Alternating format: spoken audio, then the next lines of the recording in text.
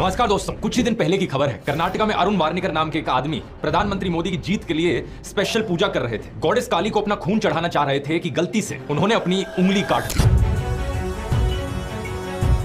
दोस्तों अंधभक्तों को लेकर social media star Dhruv Rathee ने कल एक नई वीडियो अपने यूट्यूब चैनल पर अपलोड की जिसमें ध्रुव राठी ने अंधभक्तों के बारे में बताया है कि अंधभक्त कैसे बन जाते हैं और अंधभक्तों को कैसे सुधारा जाए आगे यह भी बताया है। आइए दोस्तों ध्रुव राठी का यह वीडियो देखते हैं। ये पीएम मोदी के इतने बड़े दीवाने हैं कि इससे पहले इन्होंने अपने घर के अंदर मोदी के लिए एक मंदिर भी बना दिया लेकिन अनफॉर्चुनेटली ये अकेले नहीं है। इन औरतों को देखिए। बीजेपी के टिकट पर तो भी खड़ा हो जाए, हम जिता ये सच है। अगर कुत्ता भी आएगा, उसको भी जिताएँगे।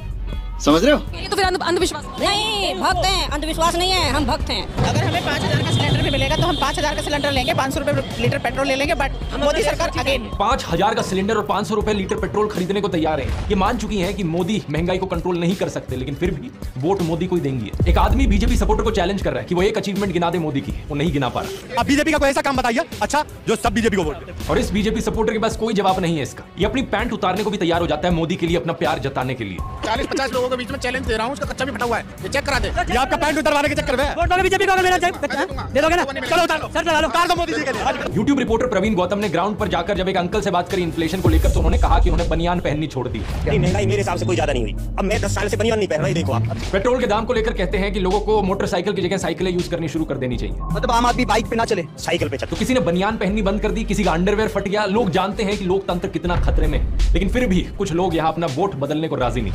वोट अभी भी मोदी को ही देंगे। इस मोदी सपोर्टर का देखो क्या कहना था। सरकार जैसा कहेगी वैसा मान लेंगे। अपने विवेक का इस्तेमाल नहीं करेंगे। तो पढ़ा लिखा होने का मतलब ये बिल्कुल भी नहीं कि अपने दिमाग का इस्तेमाल करना चाहिए। मतलब कुछ लोग तो अपने दिमाग का इस्तेमाल ही नहीं करना चाहते। आप लोगों को ये बातें सुनकर शायद हँसी आ रही हो कि चीज़ें फनी लग रही हो लेकिन मेरी राय में एक बहुत ही शॉकिंग चीज़ है कि कैसे देश में हज़ारों लाखों लोगों का इस तरीके से ब्रेन वॉश कर दिया गया है।